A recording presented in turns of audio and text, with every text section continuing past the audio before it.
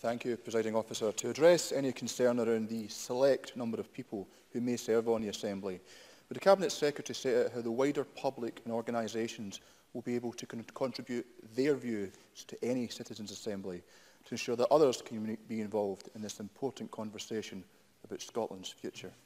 Michael Russell. The uh, examples elsewhere tend to indicate that the Citizens' Assembly, I don't want to tie their hands, but the Citizens' Assembly will call for evidence uh, and they will want people to submit evidence. I've had a, a large number of uh, people contact me in the last few weeks to say that they want to be involved in the process. I'm grateful to all of them for so doing.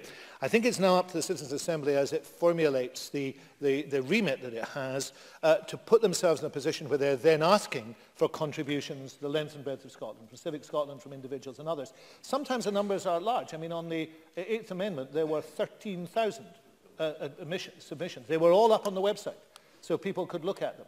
And some other subjects like, uh, for example, the um, fixed-term parliaments, I think there were only a, ha a handful.